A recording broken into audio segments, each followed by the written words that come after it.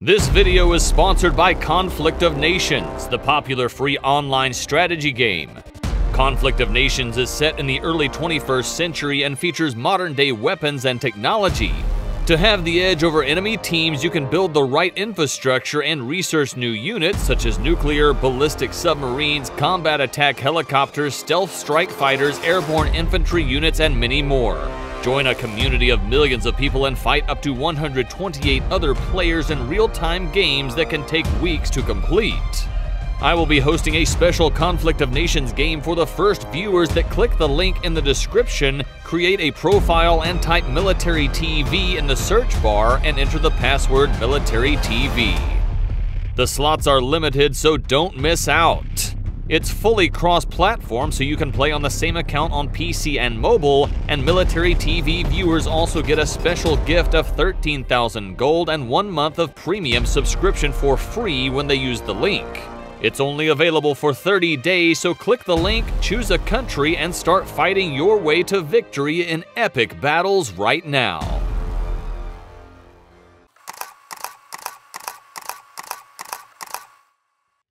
Hello everyone, welcome back again with us in another episode of Military TV. Today we want to discuss the island of Guam and why it is so important to the US.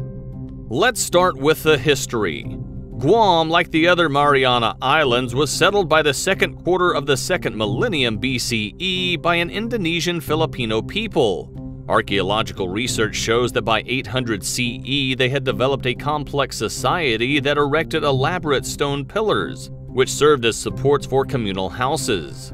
Guam is situated about 1,300 miles east of the Philippines, about 1,100 miles north of Papua New Guinea, 4,000 miles west of Hawaii, and 2,100 miles southeast of North Korea. The island lies on about the same latitude as Bangkok, Thailand. It is the southernmost island of the Marianas Island Arc, a submerged mountain range that extends 1,550 miles from Guam in the south to near Japan. The chain of islands stretches along the Mariana Trench, a deep depression in the ocean floor and the deepest part of the world's oceans. Ferdinand Magellan probably landed on Guam in 1521. Spain officially claimed the island in 1565 but did not attempt to conquer it until the latter part of the 17th century. After an uprising in 1670 and 25 years of intermittent warfare, the Spanish subdued the population with considerable bloodshed.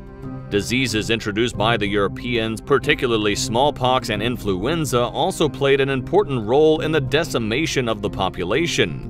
Typhoons in 1671 and 1693 caused further destruction and loss of life. Guam remained a Spanish possession until 1898 when, in the course of the Spanish-American War, the U.S. warship Charleston steamed into Apra Harbor and bombarded the old fort. Guam was ceded to the United States and Spain sold the other islands of the Marianas to Germany in 1899.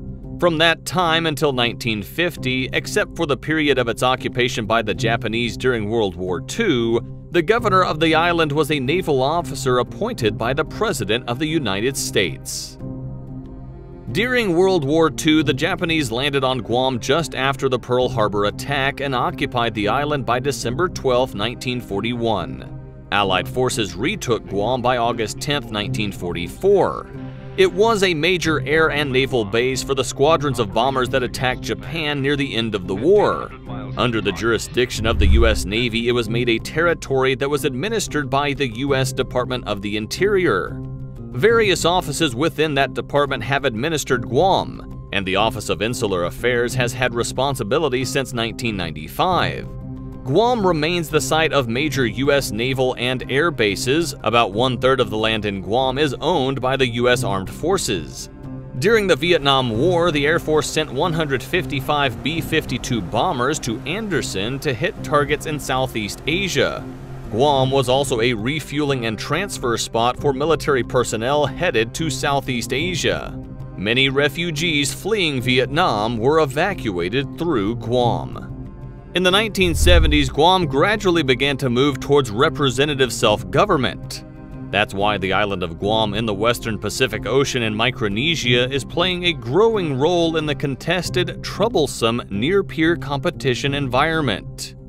The Defense Department is investing more into the military facilities of this U.S. territory, including adding networking and bandwidth solutions, joint all-domain command and control, and intelligence, surveillance, and reconnaissance solutions as well as additional U.S. forces. The measures will add key communications and advanced capabilities to the island as well as increase the military's power projection abilities. Furthermore, Guam also serves as a major military base for the United States, with U.S. Air Force and Navy installations occupying some 29% of the island's total land area. It is also a major hub for submarine communications cables between western United States, Hawaii, Australia, and Asia. In 2006, the United States and Japan settled on a framework agreement that would transfer some 8,000 U.S. Marines and their dependents from Okinawa to Guam. The multi-billion dollar plan was to be completed by 2014, but it quickly stalled amid questions about the environmental impact of the move as well as Department of Defense considerations regarding the U.S. force posture in the Pacific. A revised plan was released in 2015 that reduced the number of relocated Marines to 5,000 and had a projected completion date in the mid-2020s. For your information, with an area of only 544 square kilometers, the current population of Guam is 169,980 as of Monday, April 26, 2021, based on Worldometer elaboration of the latest United Nations data.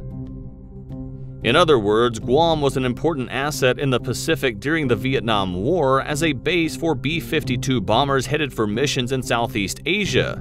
It was also used as a transit point for evacuating Vietnamese refugees. And now let's have a look at the U.S. military's role on the island, which became a U.S. territory in 1898. There are two major bases in Guam, Andersen Air Force Base in the north and Naval Base Guam in the south. They are both managed under Joint Base Marianas. The tourist district of Tumon, home to many of Guam's hotels and resorts, is in between. The naval base dates to 1898, when the U.S. took over Guam from Spain after the Spanish-American War. The airbase was built in 1944 when the U.S. was preparing to send bombers to Japan during World War II. Today, Naval Base Guam is the home port for four nuclear-powered fast attack submarines and two submarine tenders.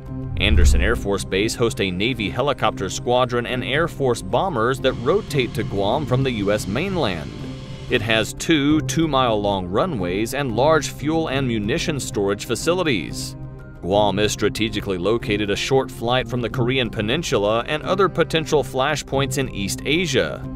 Seoul is 2,000 miles to the northwest, Tokyo is 1,500 miles north, and Taipei is 1,700 miles west.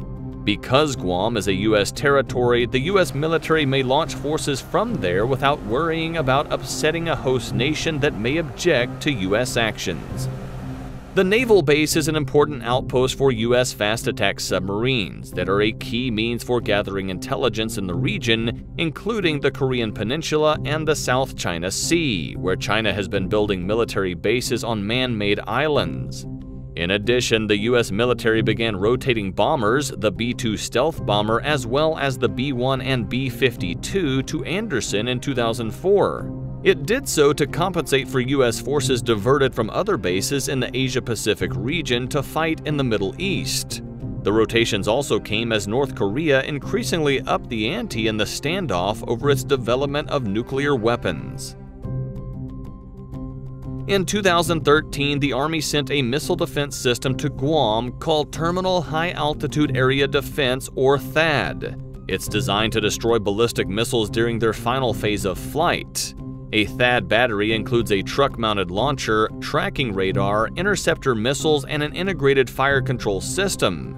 Because of that reason, Guam has become a strategic location on the globe. Thanks for watching, and as always, if you enjoyed this video, don't forget to like, share, and subscribe for other awesome videos. Don't forget to use the link in the description to play Conflict of Nations and get 13,000 gold plus a month of premium subscription for free. Viewers can join the huge Conflict of Nations community on Discord. Start fighting your way to victory in epic battles right now.